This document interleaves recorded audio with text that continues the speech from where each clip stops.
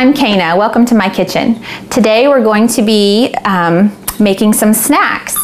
Um, some healthier snacks. I know I love a good cookie just like you do, but this today I'm going to show you how to make, um, satisfy that sweet tooth and uh, be making some good healthy snacks that give you some vitamins and nutrients and things like that. So the first thing I'm going to start with is I'm going to call it um, I was thinking about a name, I'm not really sure. I'm getting the um, structure of my recipe from a book, which by the way, I highly recommend this book if you guys are interested in really healthy snacks. Um, she calls it green glow spirulina balls, but I'm changing it up just a little bit, but I'm gonna follow some of this. So I'll be talking about the different ingredients. Um, let me just change that right there. Okay, so the first thing I'm gonna use is sesame seeds. Sesame seeds are really high in calcium. These are hulled. You can get unhulled. The unhulled actually would be a little bit higher in nutrients for you. These are the hulled. So uh, the unhulled would taste a little bit more bitter, but you're gonna be adding something, a sweetener to it anyway. So I'm just out of my unhulled, so that's why I'm using this. Um, also, uh, this is kind of a quick if you don't have a grinder and you can't grind your own sesame seeds, then you can buy tahini. It's called tahini, which is just basically ground sesame seeds. So this is going to be pastier than I can get my sesame seeds grounded. So I'm going to actually mix where she just calls for just grinding up your sesame seeds in your coffee grinder. So I'm gonna do both and I'll do that here in just a minute. And then the next thing is carob powder. And I don't know if anybody is familiar with carob powder, probably most of you are. Um, a lot of people use it in place of chocolate, which I don't think a real chocolate connoisseur would appreciate that because carob does not taste like chocolate. It gives the same color, it's the same maybe texture, but it's definitely not the same taste. However, um, carob powder is really high in uh, different nutrients and so I eat it more for the health benefits. It has uh, zero caffeine where uh, chocolate has caffeine. Some people struggle with caffeine or can't, shouldn't have it. So I'm just going to read to you out of uh, Sue Gregg's book on desserts about carob. Uh, the carob tree is also known as the locust tree because John the Baptist ate locusts and wild honey. Carob is often called St. John's bread and it's nutritious. Carob is a legume, so a bean comes from a, like a bean tree, and thus its protein content um, complements the protein of whole grain flours. It's a good source of pectin, which is valuable dietary fiber, and it's high in calcium, and we're always looking for calcium. Carob contains 92 milligrams of calcium per three tablespoons, four times that of an equivalent amount of chocolate. So it's a lot higher in calcium than chocolate. Um, in addition, carob contains a mere 0.4 grams of fat per three tablespoons, as compared to the equivalent of a one ounce chocolate, which has 14.6 grams of fat. So if you're looking to cut fat out of your life, carob would be maybe a substitute that you Scrappy is now drinking. Go outside, Scrappy. Shoo. so, okay, so I will add carob to our treat. And then the next thing I'm going to add, okay, she calls for agave syrup sweetener. And I don't know if you've ever heard of agave. It actually comes, I think, from a cactus. And I got this at Trader Joe's. I think you can even buy it here in town. Um, and I like agave okay. A lot of people use honey. Honey is excellent. I have some sensitive, sorry, hit the thing. I have some sensitivities to honey, so I don't use honey. My kids love it. I have it, and I maybe put it in things that they're gonna eat, but I don't eat honey, but I highly recommend it if you don't have any sensitivities. But what I love, what I'm addicted to is brown rice syrup. It is delicious. It is really thick. It's thicker than honey. It's real sticky. It's heaven on a spoon. You should try it. It's really good. I mean, if you just want a snack, just get a spoonful of brown rice syrup. It's delicious. I have not found this anywhere. Um, not in any grocery stores. I have to order it. Um, I order from a co-op, so I get a lot of my foods from a food co-op, and then they just bust it here for me. So I'll be using this as my sweetener as opposed to the agave syrup. Okay, and then the last thing I'm going to add, now she has a couple different ingredients like spirulina, which I, I will have it. Um, spirulina is in this little mixture. This is a mixture of like 28 different herbs, and I purchased this from uh, the bulk herb store. I think I've mentioned it on previous programs.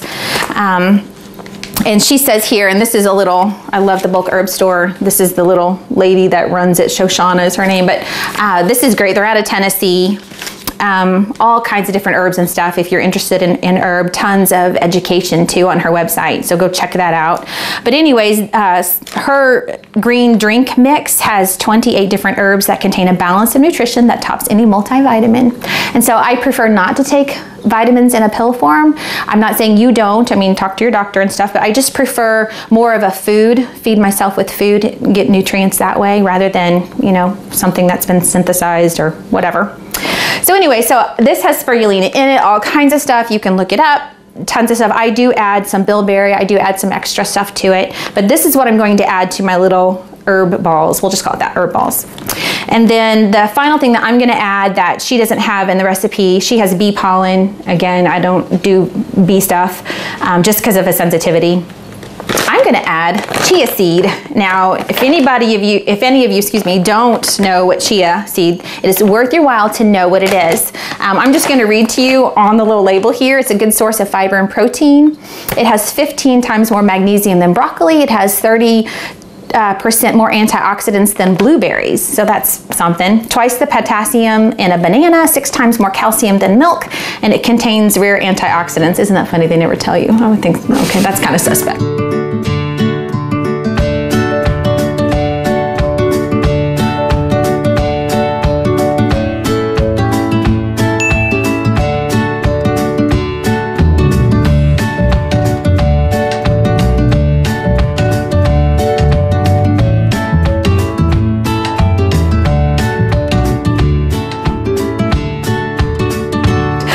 Um, anyway, so chia, high in fiber. Um, you don't have to grind them.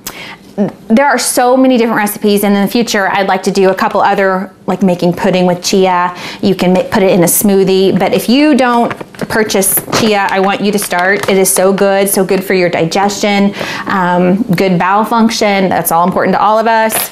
Um, definitely eat chia. You can put it on anything. You can sprinkle on your toast. You can probably don't put it in your coffee, but um, if you eat oatmeal in the morning or cereal or thousand different ways to use chia. So definitely start getting that.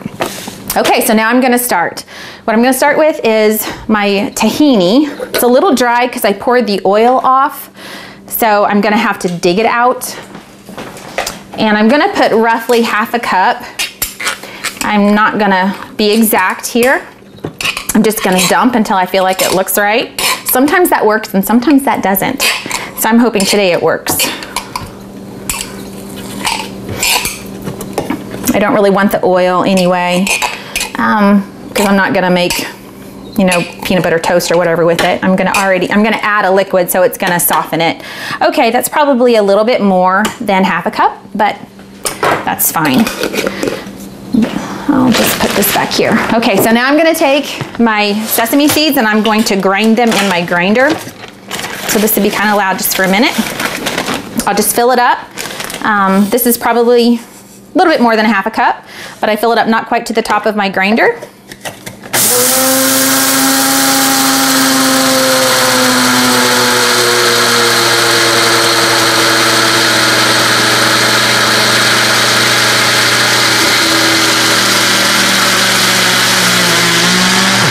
I like to grind it until, I don't know if you heard it stop like that, where it stops moving that, that begins to release the oils. And so that's what you want. You want to grind it until it pretty much stops.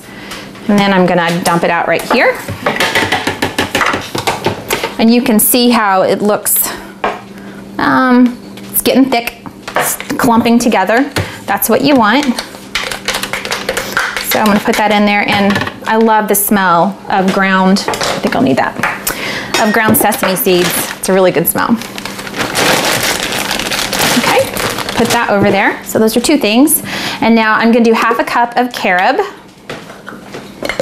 carob powder. And um, carob powder, where can you get carob powder? I don't know if you go out of town, I just spilled some, um, at all. I think Kokomo uh, there's a Sunspot in Kokomo. I think they carry it. Um, Kroger might. You can look. I get it through my co-op.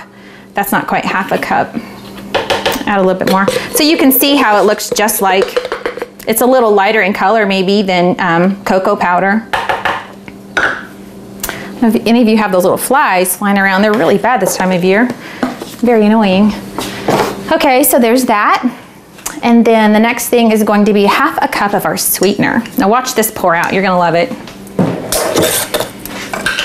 Okay, it is so pretty. And wait, oh, it smells so good. I think it smells better than honey. So I'm gonna pour in about half a cup. I don't want to bug.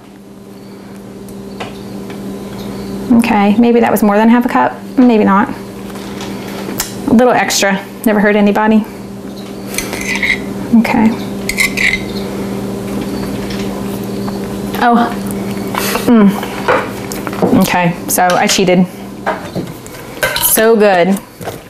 It is the best. I'm gonna wash my hands. Sticky, sticky. Okay, the next thing is I'm going to add two tablespoons, three tablespoons of this and two tablespoons of my chia. But really you can play with this and make it, make it yours. You can add anything you want. You can leave things out. Mine's a little complicated, you might think. You don't want it that complicated, so just do the first three ingredients, it's fine. It says on here a serving is one tablespoon. So that's only two tablespoons, so I'm really not getting a lot. So probably if I was gonna do this for myself, I'd add a little bit more chia. Put this back here. And then I'm gonna do three tablespoons of this. This is my herb mixture from the bulk herb store that I showed you about, the 28 different herbs. Um, the recipe calls for just spirulina, which is wonderful. Spirulina is like a blue-green algae. It is comes from the ocean. It's going to be really high in um, chlorophyll, um, super high in protein. So many reasons to um, begin to look into consuming chlor uh, spirulina. It's really, really good for you. Funny, I took it all through my 10th pregnancy. This is just a little anecdote for you. And um, so lots of protein, right? Protein builds your body.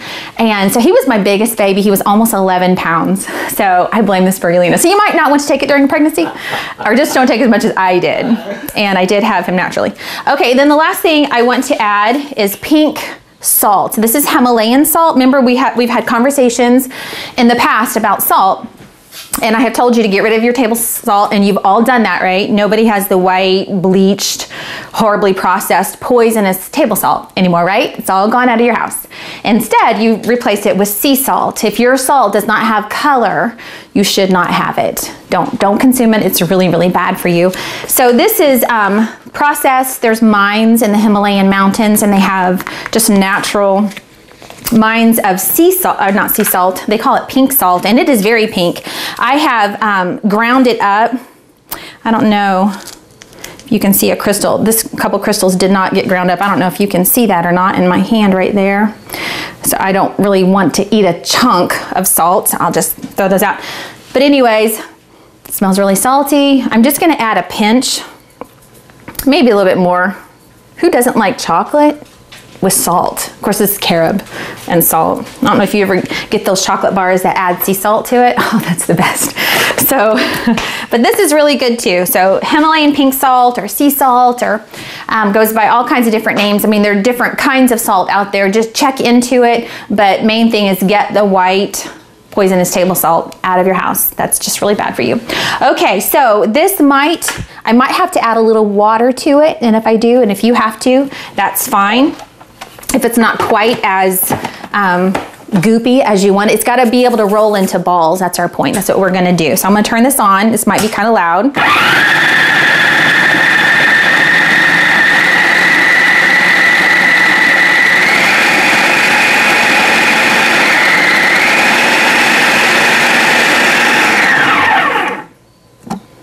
Oh, looks good.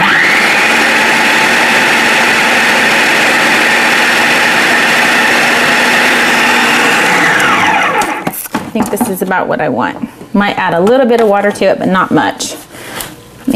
Get what's kind of sticking. We'll try it one more time.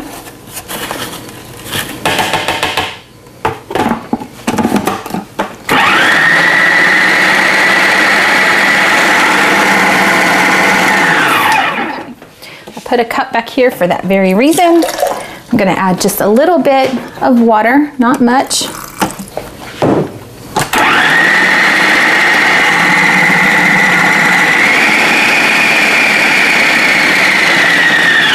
That's what I'm looking for. Woo. Okay, get rid of the blade. Oh, it's really nice and sticky. That's what you want.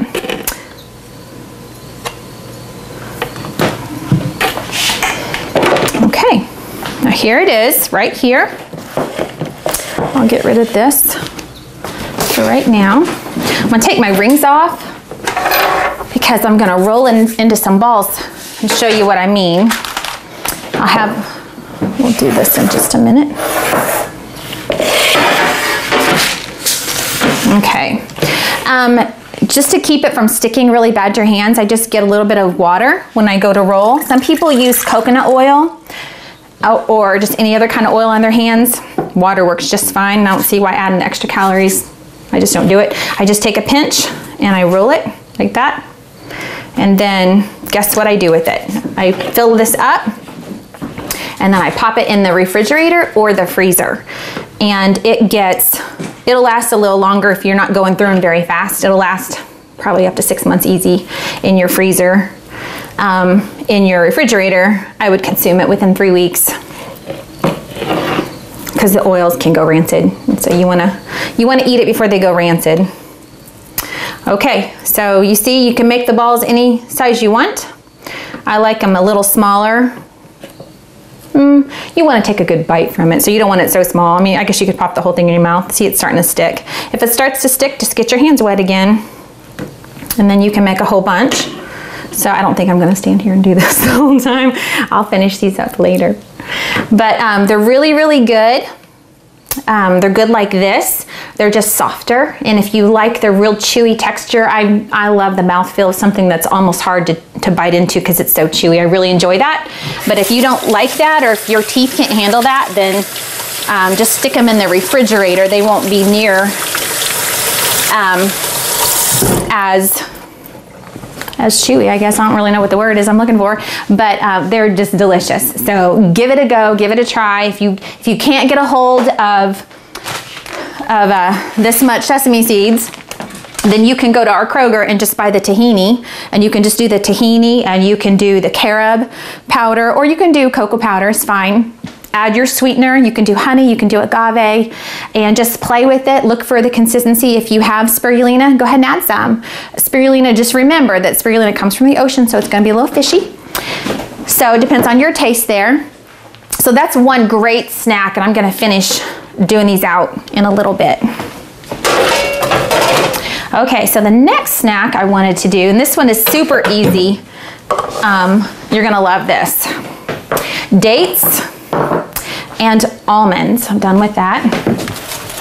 I had a friend uh, recently send me um, a little study that had been done on almonds that people who consume almonds have less incidences of headaches.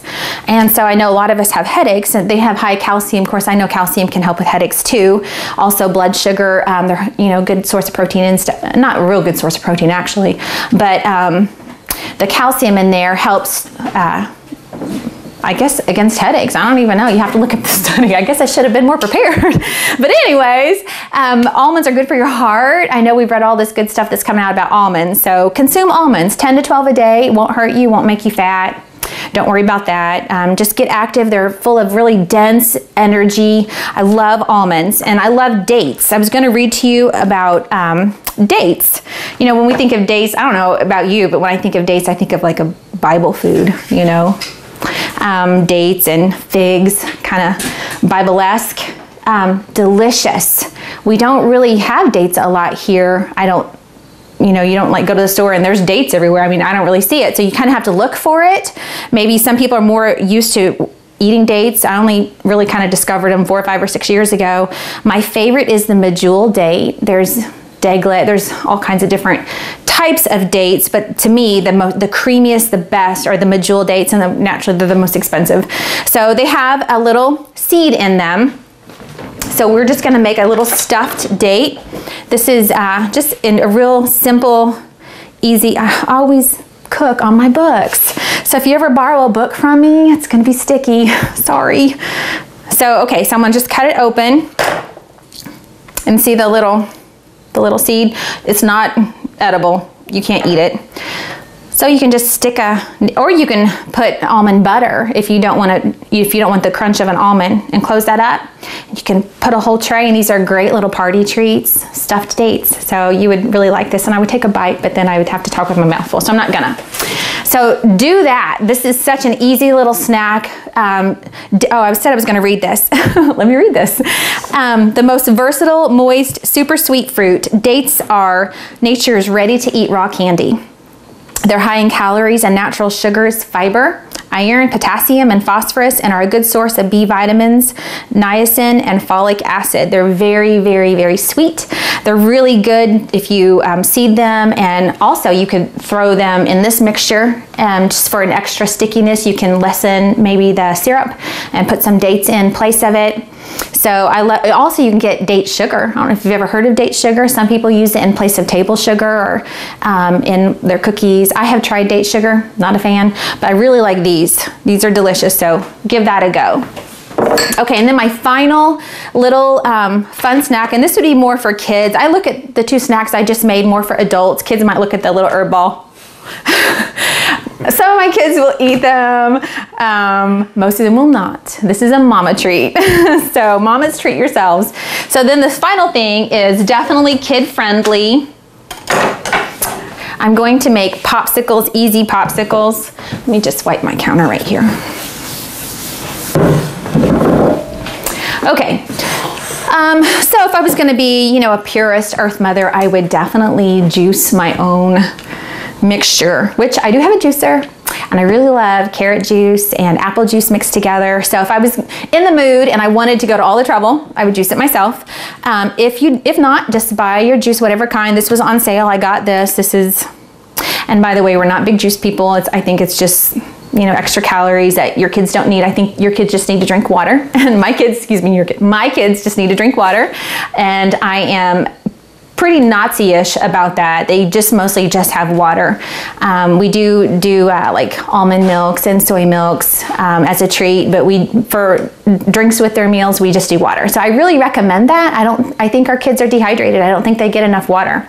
So um, I really encourage you to um, encourage your children to drink more water. But this is a treat they come home from school or they've been outside playing and you're going to make your own popsicles. And really you're going to save so much money especially if you buy your juice on sale. It stores for quite a long time so you don't have to use it all at once. I tend to look for the sales. Not all of my children like greek yogurt. I think it's more nutritious than just regular yogurt um, but it's thicker. Not everybody likes the consistency of greek yogurt and this is this has blueberries in it. I really like this this brand right here. There's all kinds of different brands out there. Give it a go. Try it. I like Greek yogurt. I eat it uh, not regularly, but pretty often. I'm gonna do two. It's probably too much. Again, I'm not really big on.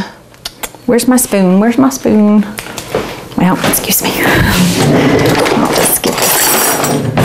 Not really big on measuring, as you can see. I just kind of wing it and eye everything. I guess my mom taught me that. She did. She always did that. Okay, so there's one. So think of like frozen yogurt ice cream. Except have you ever, unless you buy really expensive brands, have you ever looked at the ingredients on frozen yogurt? It's terrible. There's so many chemicals and trash in it. Um, so that's why I like only natural ingredients. I'm really kind of picky. I try to be mostly picky, but you know, you, you can do what you can afford. And not always can afford everything, so just do what you can do. So I'm gonna add a little bit. I'm looking for consistency. I want it to be thick, but um, not so thick that it doesn't pour good into my mold. And plus I have eight. And with as many kids as I have, I actually have several more of these but I'm only gonna do two right now. Of course, it's, you know, it's still summer, but does it feel like summer? It's really weird. so it's this probably not something that you do right now. However, my kids will eat popsicles in the winter. Uh, they love popsicles. What kid doesn't like popsicles? Okay, so this is the consistency I'm looking for. This makes such a good treat. And you can sneak in different stuff. Like if I wanted to be a real tricky mom, I'd probably put like a tablespoon of my, um, my herb mix, my 28 different herbs.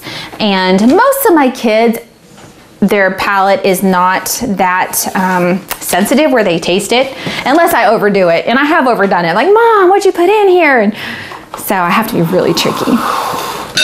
So, okay, so I'm just gonna pour these in here and then they're gonna freeze right up in a couple hours. They'll have a nice little treat. These are really good. So you can feel good about giving your kid this instead of ice cream, a bowl of ice cream on Friday nights. You know, that's a sometimes a big thing. Oh, let's go get ice cream. Let's go get ice cream. But you can make your own homemade ice cream or you can do these kind of pops. Look, it didn't even fill up both of them. So, I'll have to measure next time. okay, so then you just pop these little things on. There's so many different, I think I bought these at Target and they had a big long stick and they wouldn't fit in my refrigerator so I had to snip it off. So, and then after I did I thought, oh, my kids really can't hold it that well. so anyway, it works. And then they can drink out, you know, what, what melts. That's so nice. I like this. And these were, my goodness, I don't even think they were $2 uh, per one. It was like a dollar 49 or something. I might have gotten it at the, at the end of the summer last year though. They might price a little bit higher at the beginning. Then you just pop it in your freezer and you're good to go. So I hope you've had fun with me today and I hope you have a great week and I will see you next time. Thank you so much for watching. Bye.